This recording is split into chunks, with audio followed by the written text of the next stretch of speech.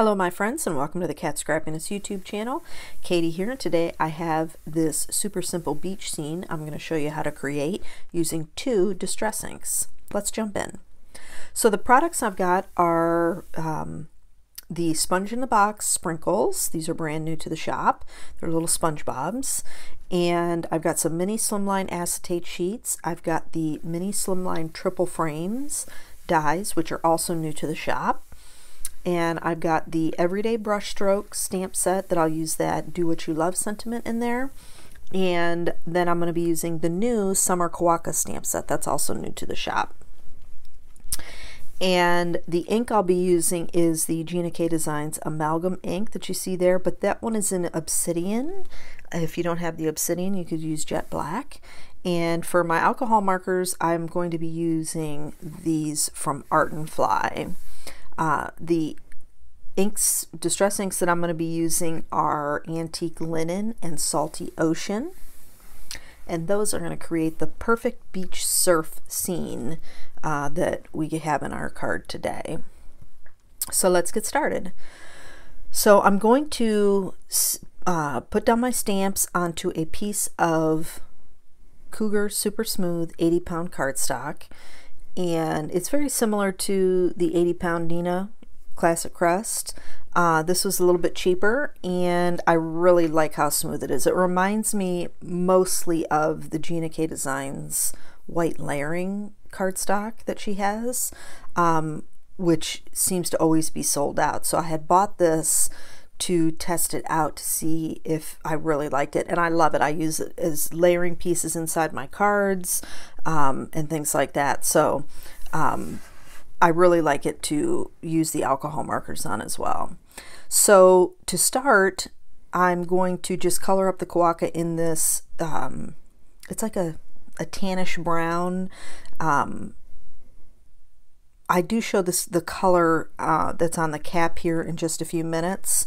Um, for anyone who's you, who uses the Art and Fly markers, and you, you may want to know, uh, these are very comparable to the Copic markers, which is why I chose to go with them um, to start an alcohol marker collection because they're very affordable and they come with refills and uh, replacement brush tips, which are the same brush tips that are on the Copic markers. So uh, at a much more affordable price. So what I like about them and why I chose them was not only cost, because Copic stuff is going up exponentially, but because uh, the people who reviewed, there's lots of reviews on them, they said that they blended really well. And they really do. I mean, I'm, I'm no Copic color expert, alcohol marker expert, but these really did blend well. Um, with even with just the same color. In fact, uh, if you wanted to layer up your alcohol markers by using just one color, you could lay, lay down your color, let it dry for a few minutes and absorb into the paper, and then come back in and you'll be able to add some shadows. But th with these, it blends in really nicely. So just my observation in the little bit of time I've used it. So here I'm just coming in with like a teal aqua for his little beach shorts. And then for his um, little cocktail that he's drinking, I used a soft pink color that I used also inside his ears and a light blue for the ice cubes and a little bit of a light yellow for the the lemon wedge that's on the uh, outside of his glass. This is a nice dark brown that I'm using to color in his beach chair. And then for his, uh, oh, this one is for the aluminum. So the little base there that would be like the aluminum part of the chair, I just use a nice cool gray. And then for his sunglasses, his frames are going to be this red, reddish magenta color and then I just color the lenses black. I just use a black alcohol marker that comes in the set um, and colored those black. You could use a soft blue so that you can kind you know, kind of gives that, you know, like mirrored look, but I, I like the black better. Um, he just looks, looks like a cool, chill Quokka hanging at the beach for the day.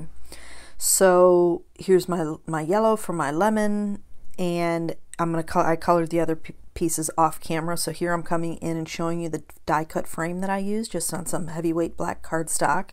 Uh, when I make shaker cards, I don't like to use the foam. So I always use layering dies to create frames.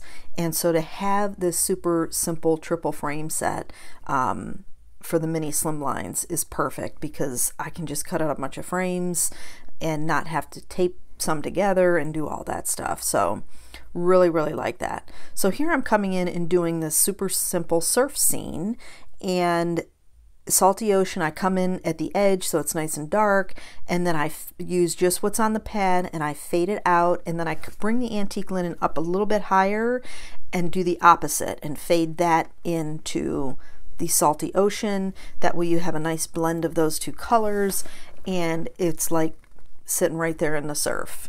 Um, and that's the the look I was going for. My husband and I are fortunate to live near the coast of North Carolina um, southeastern North Carolina, and every chance we get, we're this is exactly what we're doing. We're just doing what we love and hanging at the beach and and chilling out. So um, here I'm going to stamp up my sentiment, and I'm going to use the same Obsidian amalgam ink.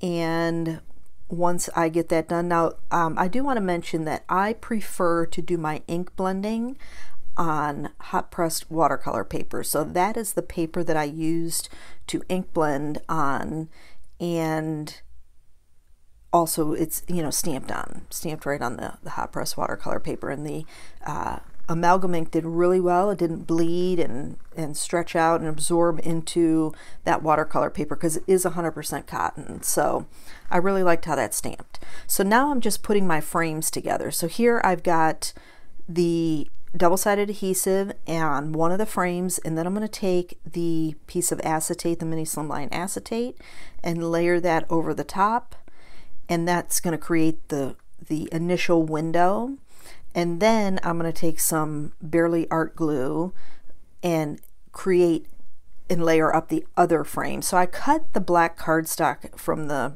triple frame, the largest triple frame, five times. Now that was enough of a window for me, depth of a window for me to have a little bit of a shake in the card. I don't need an excessive amount of shake.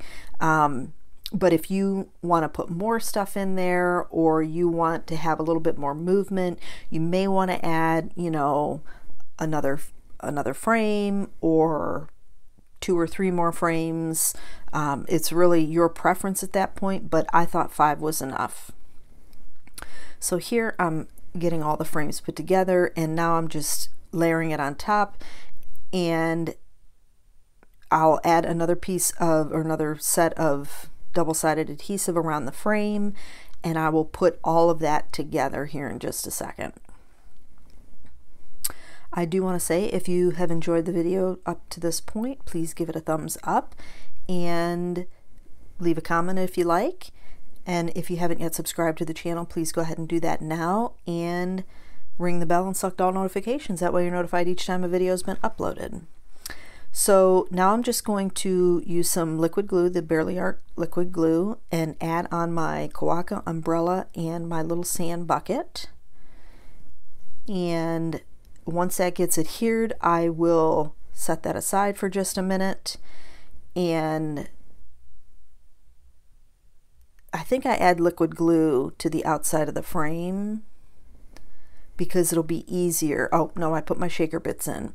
So I, I don't use a ton, but I do use enough, I think. And I keep them flat. I don't want them bunched up on top of each other so that I have enough room uh, once I put that base down to make sure everything's going to shake nicely. So yep, I do put a little bit of liquid glue and I will add, because this is watercolor paper, I wanted to make sure I had enough wiggle room if I had to slide anything around because I placed it and didn't get it lined up initially. So taking a couple blocks just to add some weight for that to dry.